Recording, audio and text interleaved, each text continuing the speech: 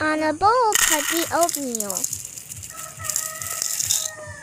Then add some glass of milk hot. Then mix it and set aside for an hour. After an hour, add flour. And also egg.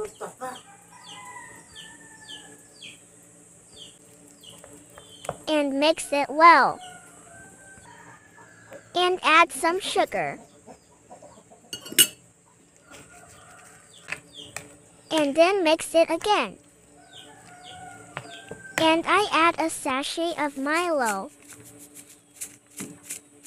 as a food coloring. And mix it well.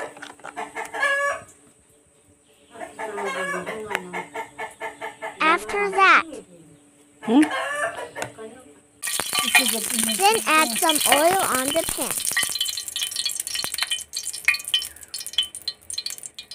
And put the mixture little by little on the pan. To cook a minute.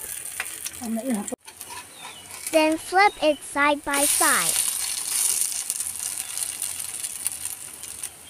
And let it cook for a minute side by side to make sure it was well cooked.